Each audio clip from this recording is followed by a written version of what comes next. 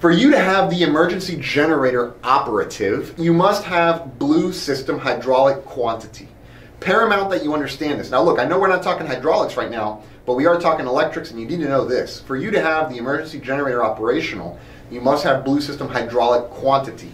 No quantity in the blue system, no generator. That's the way it works, right? So understand that first. Here's the next thing you need to understand. The emergency generator is not going to supply the 90 kVA that we get out of the generators, engine driven, or the APU or the external power. It will only supply 5 kVA.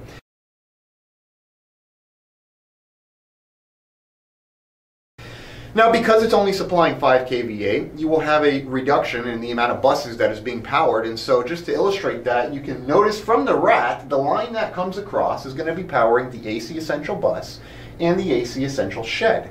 And then through an Essential TR, through an Essential TR, make sure you throw that in on your oral question when what buses are powered by the RAT. We're going to get to that in a little bit. But when you add this through an Essential TR, that emphasis right there, it shows the examiner that you have a illustration, a picture, right? You have it pictorially in your head recorded. So you know exactly what you're trying to communicate to them. So here, right, through that essential TR, okay, it's going to go up and power DC Essential Bus and DC Essential Shed.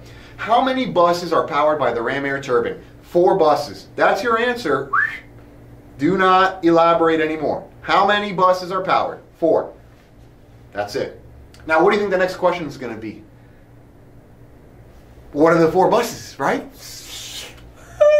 right where we want them, okay?